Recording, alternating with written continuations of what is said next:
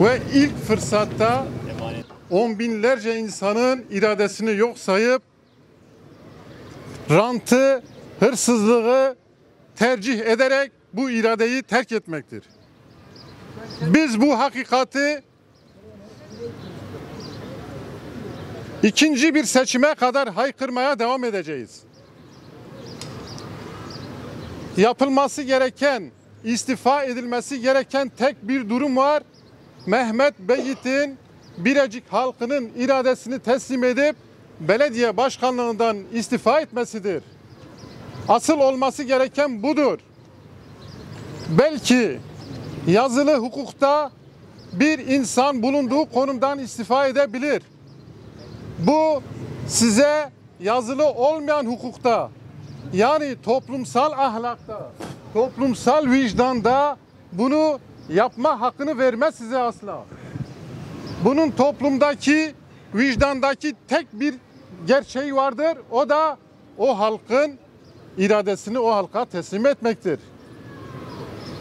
Her gün devletin başka bir kurumunu idari amirine kadar ziyaret edip kendi yaptığın hırsızlığı rantı tercih etmeni meşru kılamazsın. Bir gün Birecik Kaymakamını, bir gün Urfa Valiliğini ziyaret ederek bu halkın iradesini yok sayma, çalmamış olmanı değiştirmez. Bu halkın vicdanında sen bir hırsızsın.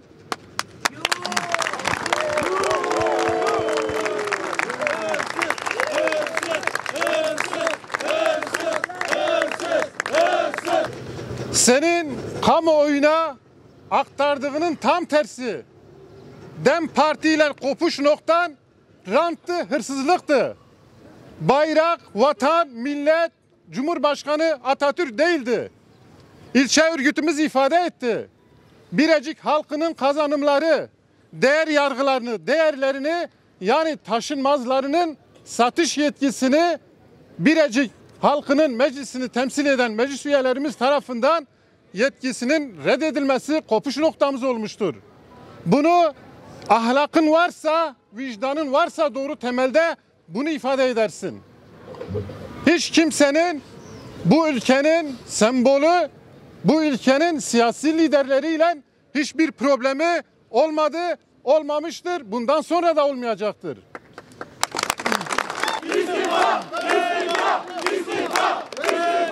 Halk Dem Parti'ye oy verdi. Sana oy vermedi. Deme verdi. Bugün ne diyorsun? Biz kazandık. Sen nerede kazandın? Eğer istifa et, tekrar seçime gidek. Alacağın 150-200 oydur. Mezrenin sırtının üzerinde Mezrenin sırtının üzerine seçime girdin. Dem Parti sana yer verdi. Sen Mezre'yi hiçe saydın. Diğer partilere geçmek üzere planlar yapıyorsun. Begitlerin ve Mezre'nin gururu için, şerefi için istifa et. Birecik'in gururu, şerefi için istifa et. Ben de Mezre'de oturuyorum. Ama böyle olmaz. Ben 25 yıldır bu partiye oy veriyorum. Sen parti oyumu yok saydın. Annem yatalaktır. Kaldırdım. Yatalak halinden oy kullandırtmaya getirdim. Onun babalı kimin boyuna girecek başkan? Bu nasıl olacak? Bu başkana diyorum o başkan değil.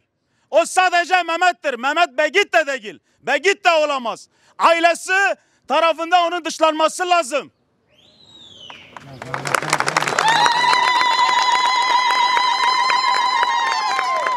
Mezra halkına gözdağı vererek onunla bir olmasını istiyor. Topu topu seni destekleyen 50 kişi var Mezre'de. O da Dem Parti'ye oy vermeyenler seni destekliyor şu anda. Ha. Hepinize teşekkürler ediyorum. Bir an önce istifa etmen lazım. Biz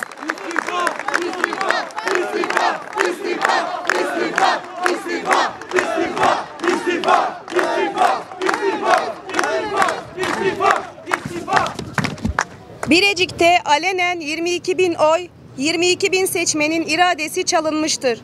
Bu eşine rastlanır bir durum değildir, hırsızlıktır.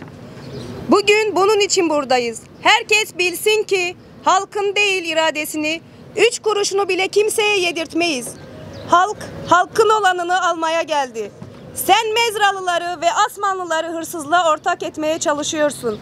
Mezralılar hırsızlığa karşı, Asmanlılar hırsızlığa karşı, Dem Partililer hırsızlığa karşı, bütün Birecikliler hırsızlığa karşı. Bu belediyeye belediye halkındır. Yalanlarla çalamazsın. Dolanlarla çalamazsın. Bayrak yalan bayrak siyasetiyle çalamazsın. Onurlu davran ve istifa et. Bu işin başka çözümü yok. Birecik halkına yapılan ihanet kamuoyuna her ne kadar bayrak poster gerekçelendirilse de ihanetin temelinde yapılması muhtemel bir yolsuzluğu partimizin önlemesi de olduğunu bütün halkımıza duyuruyoruz. Bu zat Birecik Belediyesi'nin mallarını, dükkan ve arsalarının yani halkın mallarının satış yetkisini kendine istemiş ve meclis üyelerimiz kabul etmemiş, oy çoğunluğuyla reddedilmiştir. DEM Parti'de AKP belediye başkanıymış gibi davrananlara prim verilmemiştir. Musamaha gösterilmemiştir. Bu zat DEM Parti'de hırsızlık yapmayacağını anlayınca partiden istifa etmiştir. İstifa etmeden önce belediye meclis üyemiz Asmanlı Ahmet Arar arkadaşımıza istifa günü Halil Aykılıç üzerinden rüşvet teklif edilerek istifa oyununun bir parçası haline getirilmek istenmiştir. Ancak Ahmet Arar arkadaşımız partiyle bu yola devam etme kararlılığı göstermiş ve kirli planların bir parçası olmamıştır. Asman halkının iradesine sahip çıkmıştır. Bu kirli teklif sadece bir meclis üyemize yapılmamıştır. 31 Mart'tan sonra ayrıca 3 belediye meclis üyemize rüşvet, dükkan ve yakınlarına işe alım, benimle birlikte hareket edin şeklinde kirli pazarlıklar yapmıştır. Ama gereken sonucu alamamıştır. Onurlu arkadaşlarımız onlar gibi bu halkın iradesine ihanet etmemiştir. Hırsızlık kapısını onlara açmamışlardır. Bayrak ve Atatürk posteri Begit tarafından yapılan ihanet, eylem ve planına alet edilmemiştir. Bayrağa en büyük ihaneti yapanlar bu söylemin arkasına sığınıp halka ihanetlerini ve oy gaspını gizlemeye çalışanlardır. Eş başkanlık, şeffaf ve halkça yönetim başta olmak üzere partimizin yönetim ilkelerini reddeden ve verdiği sözleri tutmayan biri bu halka yol yürüyemez. Bu halka söz veriyoruz. Sonuna kadar bunların karşısında halkımızın yanında duracağız. Geçit vermeyeceğiz. Amin.